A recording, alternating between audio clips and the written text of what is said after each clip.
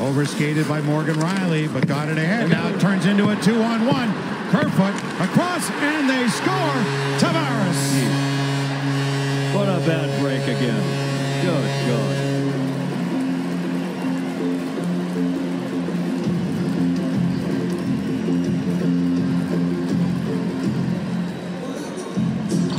Now the key in a play like this is the passer.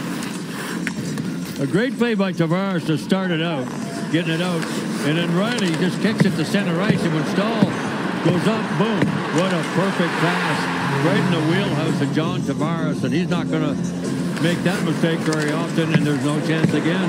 It's a beautiful pass by Kerfoot. What a good game he's had. Wow. And that hurts for the Red Wings. Boy, oh boy.